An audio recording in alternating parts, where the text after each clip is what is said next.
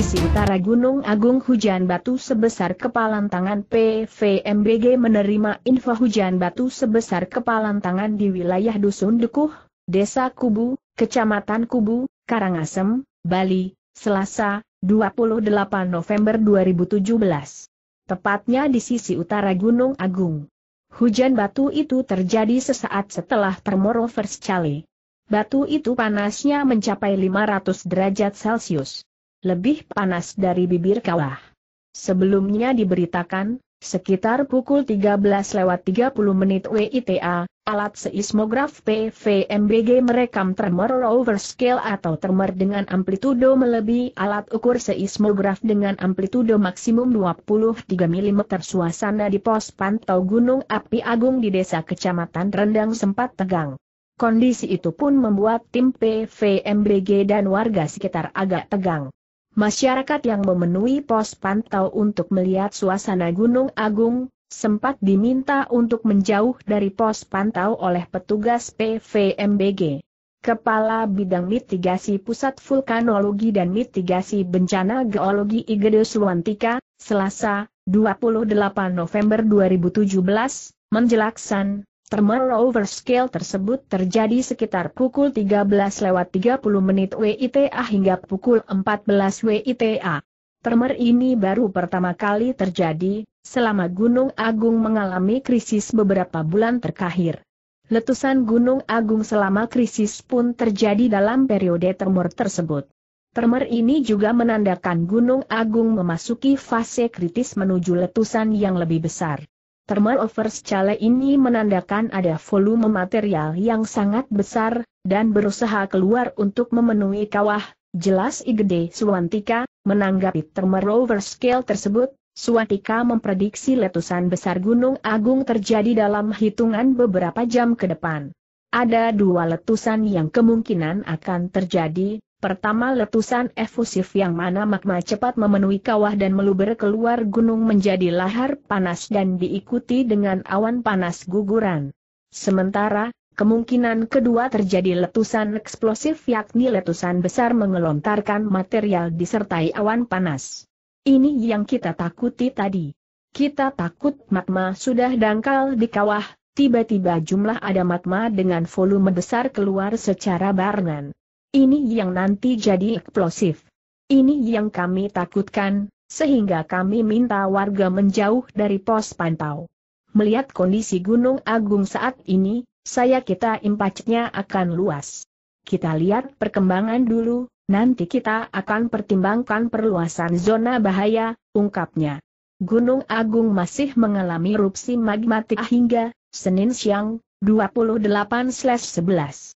Bahkan, letusan sekitar pukul 13.37 WITA tersebut disertai dengan termorovers Cale sejauh ini, letusan hari ini adalah letusan dengan energi terbesar sepanjang krisis Gunung Agung yang aktivitas vulkaniknya meningkat dalam beberapa bulan terakhir, ujar Kepala Sub Bidang Mitigasi Pemantauan Gunung Api Wilayah Timur PVMBG, Devi Kamil Syahbana. Sementara itu dilansir dari kompas.com, Kepala Pusat Data Informasi dan Humas Badan Nasional Penanggulangan Bencana, BNPB, Sutopo Purwonugroho mengatakan bahwa aktivitas vulkanik Gunung Agung, Bali terus meningkat siang ini.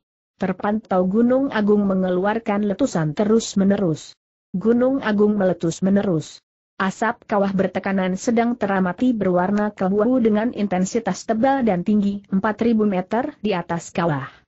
Tremor menerus terekam dengan amplitudo 1-2 mm, dominan 1 mm.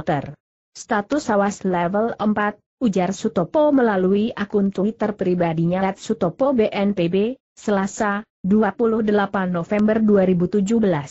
Kata Sutopo, berdasarkan informasi dari Pos Pantau Pusat Vulkanologi dan Mitigasi Bencana Geologi, PVMBG, Rendang, Intensitas gempa tremor terjadi sangat tinggi dan terus-menerus pada siang ini. Ia pun meminta semua masyarakat waspada akan bahaya erupsi Gunung Agung yang lebih besar terjadi. Utamanya bagi masyarakat yang masih berada dalam radius wilayah 8-10 km dari Gunung Agung untuk segera mengungsi.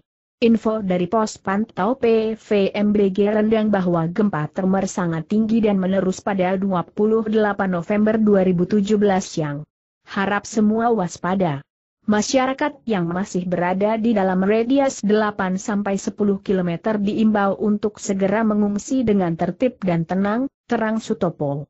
Status Gunung Agung naik dari siaga, level 3, menjadi awas, level 4, terhitung sejak Senin, 27 November 2017, pukul 6 WITA.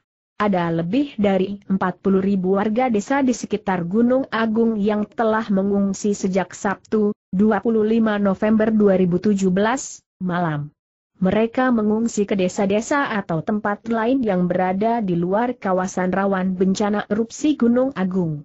Angka pasti jumlah pengungsi belum bisa dipastikan, sebab petugas masih melakukan penyisiran dan mengimbau agar warga mengungsi.